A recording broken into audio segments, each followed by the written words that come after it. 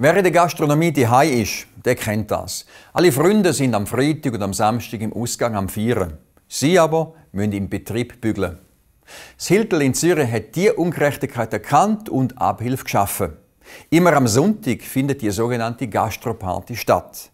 Was es mit dieser Party genau auf sich hat und was ihnen dort alles geboten wird, das erzählt uns der Clubleiter Raphael Riebke.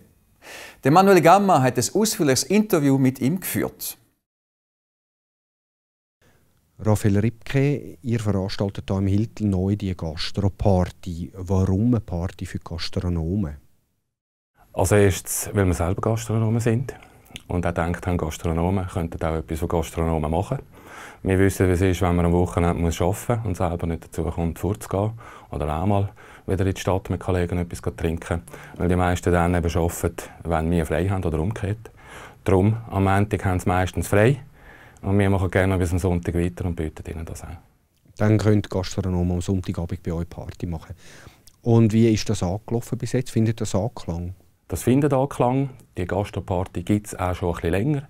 Wir schneiden sie nur zuschneiden oder wirklich auf Gastronomen auslegen. Das heisst, dass man nicht Gastronom muss sein, um überhaupt in den Club hineinzukommen. Aber es gibt Vorteile für Gastronomen, so soll es auch sein. Welche Vorteile sind das? Mit dem Memberschlüssel bei uns kann man eine Begleitperson mitnehmen. Man zahlt keinen Eintritt. Man hat äh, vergünstigte, vergünstigte Lounge-Konditionen. Man kann einen Welcome-Drink entgegennehmen. Und der Ricci, unser Barchef, begleitet einen durch den Abend. Jetzt sind Gastronomen auch Profis in dem Segment, wo ihr ein Angebot macht. Äh, was bietet ihr, um ein professionelles, eventuell auch verwöhntes Publikum, äh, damit denen etwas geboten wird? Wie gesagt, der Richard ist unser Barchef. Er kümmert sich ein bisschen um die Gastronomen, weil er selber auch ein Profi ist.